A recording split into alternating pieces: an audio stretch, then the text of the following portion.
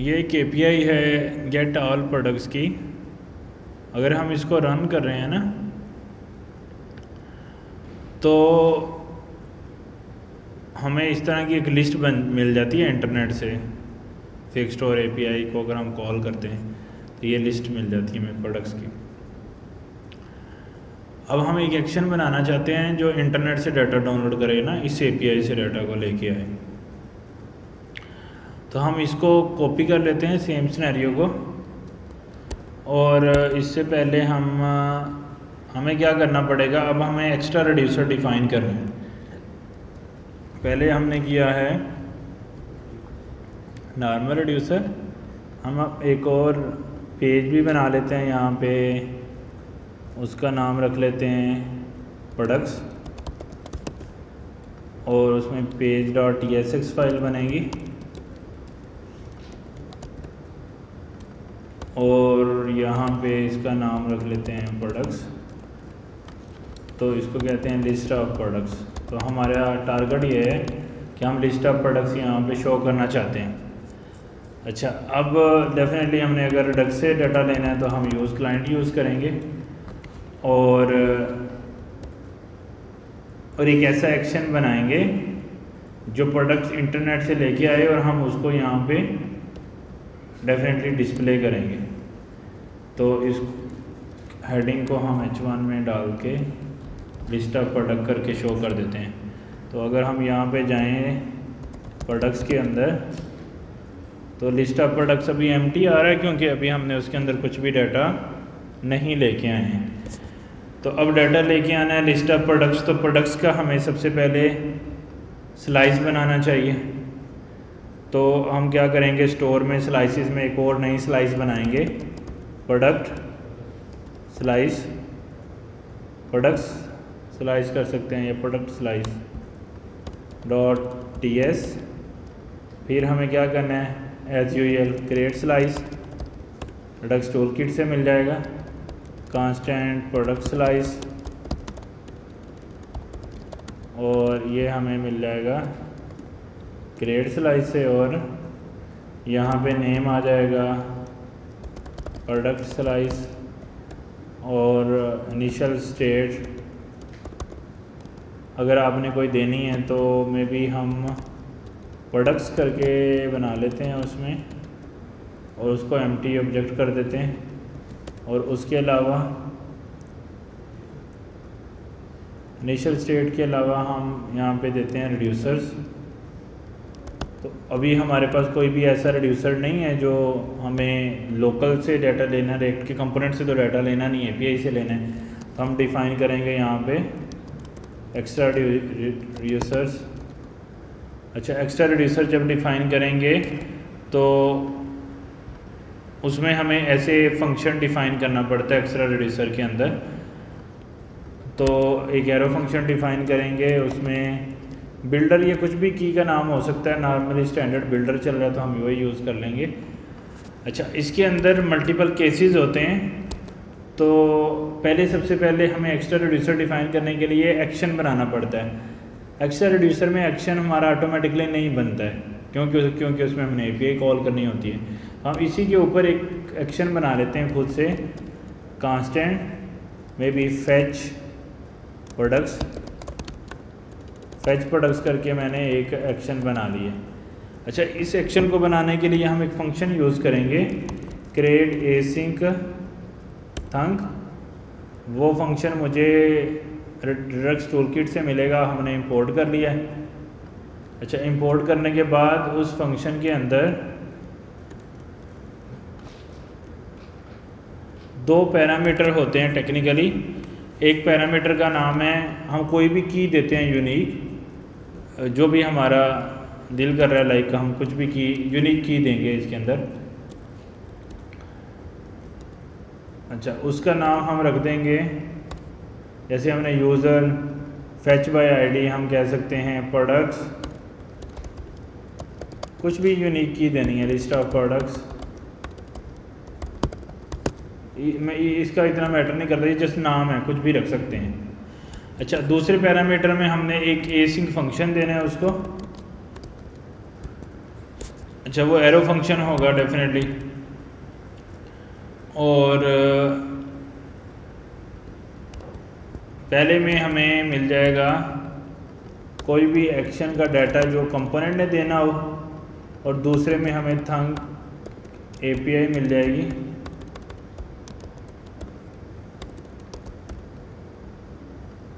और ये फ़ंक्शन जो है वो क्लोज हो जाएगा। अच्छा यहाँ पे हम इसके अंदर अपनी एपीआई कॉल करेंगे और एपीआई कॉल हम ये वाली डिफ़ाइन करेंगे। इसमें हम लगाएँगे await constant products response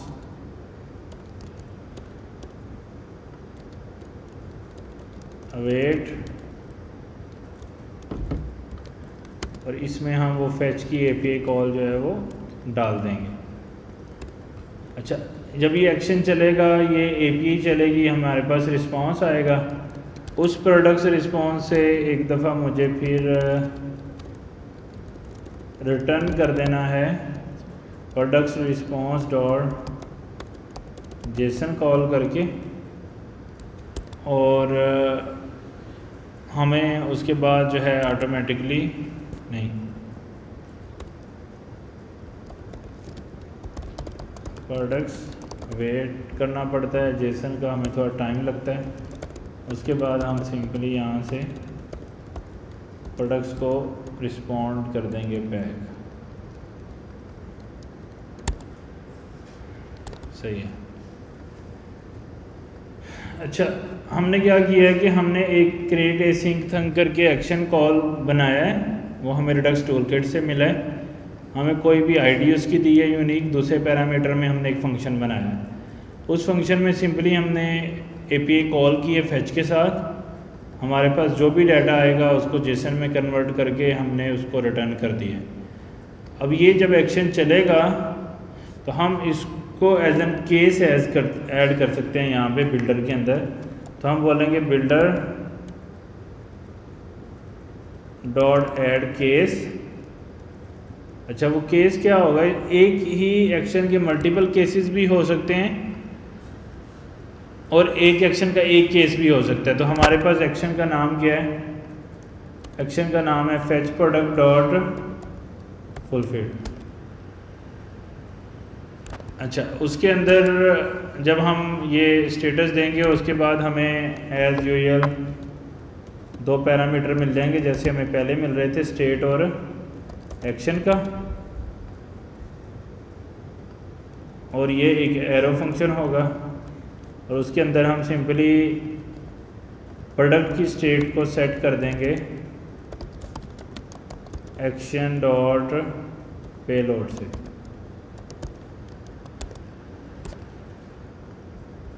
तो अब हम एक लॉग भी लगा लेते हैं। Maybe console dot log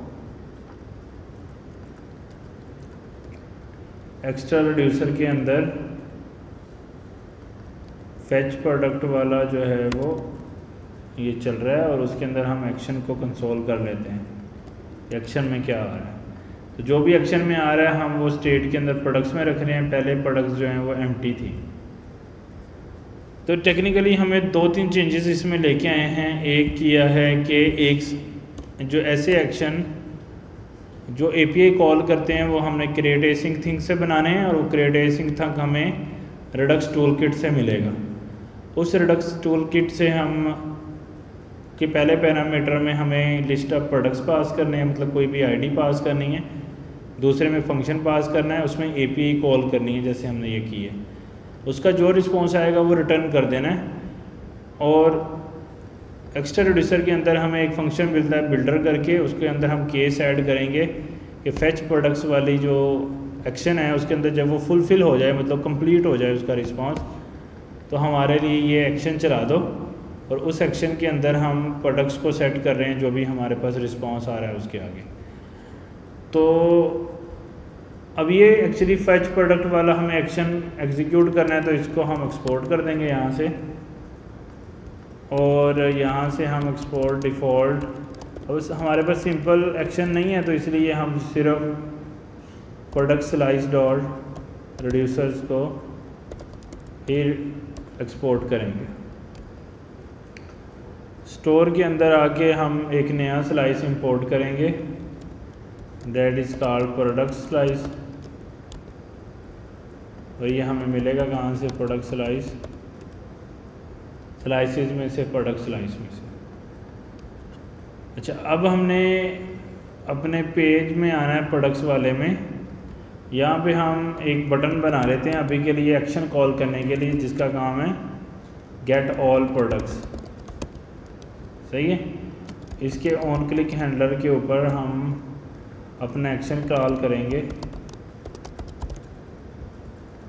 ये डेफिनेटली हमें यहाँ पे बनाना पड़ेगा एक्शन के लिए फ़ंक्शन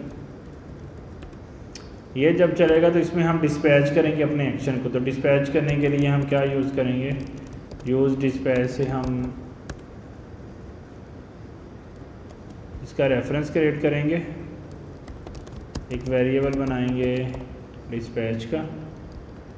और इसके अंदर हम एक्शन पास करेंगे। और एक्शन का नाम क्या है?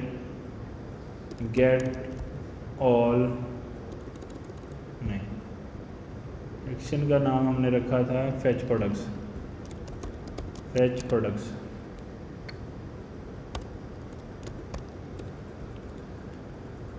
अच्छा इसको हम कॉल करेंगे और ये हमसे कोई डाटा भी, अगर हम कोई डाटा पास करना चाहते हैं ए को जस्ट लाइक के आईडी जो है वो टेन है या कुछ इस तरह की चीज़ तो हम पास कर सकते हैं।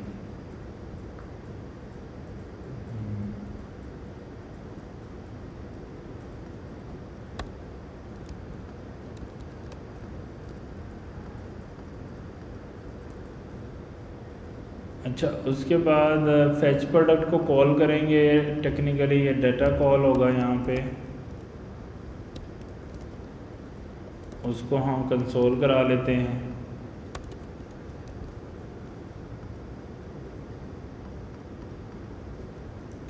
और ये कॉल होगा तो ये बिल्डर के अंदर हमारे पास केस आना चाहिए तो लेट्स सी कि क्या रिस्पांस आ रहा है।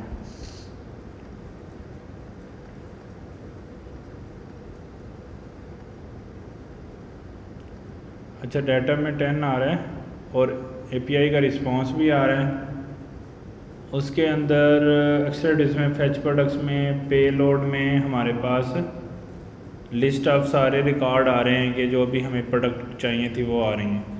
तो जैसे ही अब हमारे पास प्रोडक्ट्स आ गई हैं तो हम इस प्रोडक्ट का, जैसे हमने main page dot T X में चलाया था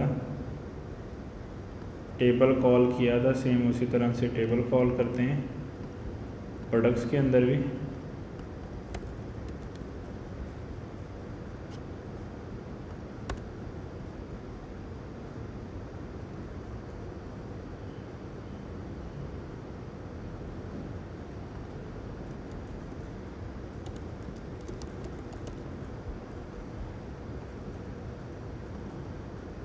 और ये डाटा हमें कहाँ से मिलेगा?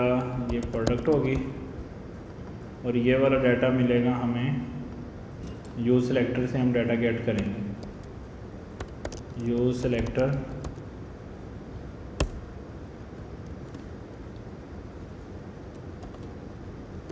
इसके पास पूरा स्टोर है।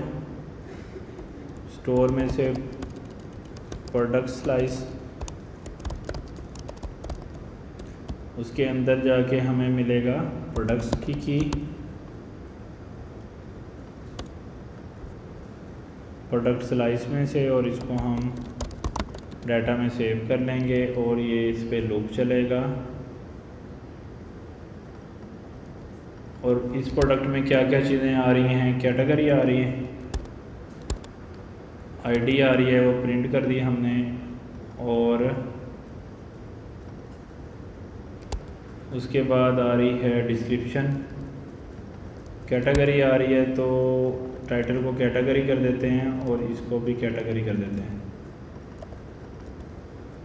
उसके बाद हम प्रिंट कराना चाहते हैं इमेज तो एंड पे हम प्रोडक्ट डॉट इमेज कर देते हैं. और डिस्क्रिप्शन में डिस्क्रिप्शन डाल देते हैं। प्राइस शो करनी है तो कर सकते हैं।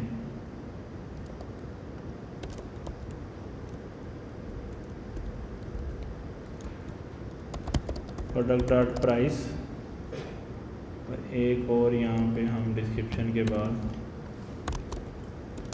प्राइस डाल सकते हैं। सॉरी और यहाँ पे हमने डाटा पे हमारे पास सारी इमेजेस वगैरह आ गई हैं। गेट आल प्रोडक्ट पे क्लिक करेंगे तो डाटा हमारा फुलफ़िल हो रहा है। ये डाटा हमारा इंटरनेट से आया है जेट के कंपोनेंट ने प्रोड्यूस नहीं किया। तो इमेज इस तरह से यूआरएल आ रहा है तो हम इसको शो भी कर सकते हैं। यहाँ पे हम लिखेंगे आई का टैग और सोर्स के अंदर हम प्रोडक्ट आर्ट इमेज डाल देंगे।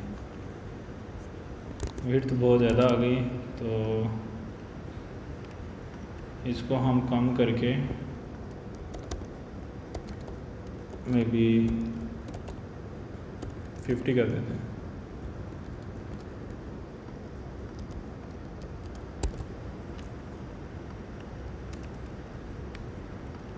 सर्वर बंद हो गया है।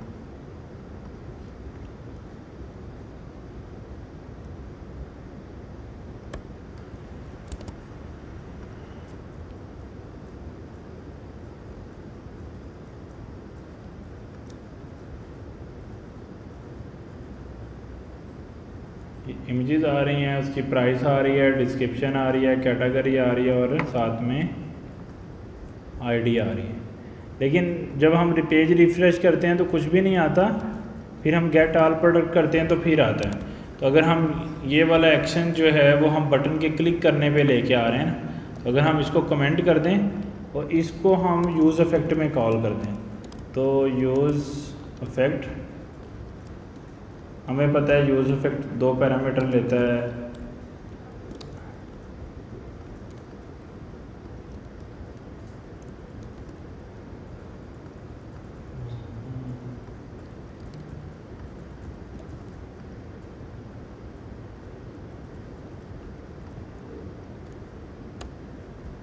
और यूज़ इफ़ेक्ट को हम कोड कर लेंगे रिएक्ट से।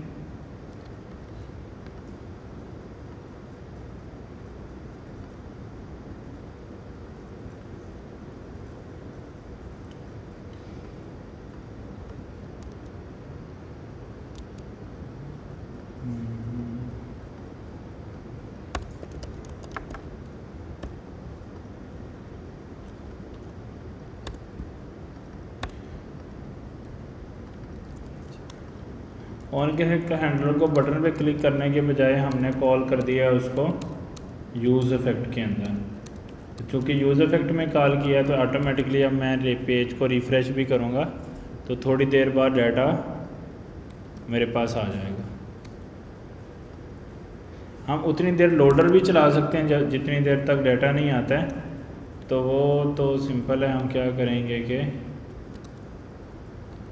इफ़ अगर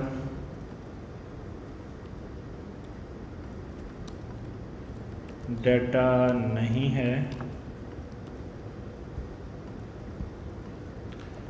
अभी मैं डेटा डॉट लेंथ पे लगा देता हूँ, लेकिन टेक्निकली ये गलत है। हमें लगाना चाहिए कि लोडिंग की स्टेट बनानी चाहिए। तो अभी के लिए हम इस तरह काम चला लेते हैं। अगर डाटा की लेंथ इससे बड़ी है तो ये चले अदरवाइज़ टेबल के बाहर यहाँ पे हम लिख देते हैं लोडिंग तो लोडिंग लिखा आएगा थोड़ी देर बाद डाटा आ जाएगा। तो अब ये डाटा मैं खुद से नहीं लेके आ रहा, कहाँ से आ रहा है? एपीआई से आ रहा है। और हमने इसके लिए custom a thing async thunk action बनाया। है तो फ्लो क्या है कि हमारे पास रिएक्ट के कंपोनेंट ने डिस्पैच किया। एक्शन चला, उसने इंटरनेट से डाटा गेट किया, उसने रिड्यूसर को दिया एक्स्ट्रा रिड्यूसर को। उसने स्टोर में रखा स्टोर से यू सिलेक्टर से डाटा रेक्ट के कंपोनेंट में रेंडर हो गया। तो इस फ्लो के साथ साथ ये सारी प्रोडक्ट्स जो हैं, वो इस ए को यूज़ करते हुए इंटरनेट से ला के डिस्प्ले कर रहे हैं। ऑल गुड तो आपने अब करना ये है कि कुछ ए की भी प्रैक्टिस करनी है कि ए से डाटा ला के स्टोर में रख के डिस्प्ले करें। और कुछ जो है वो सिंपल जो एक्शन रिड्यूसर हैं, उनको प्रैक्टिस करना है कि उनसे डाटा कैसे हम रीड करेंगे। सही है?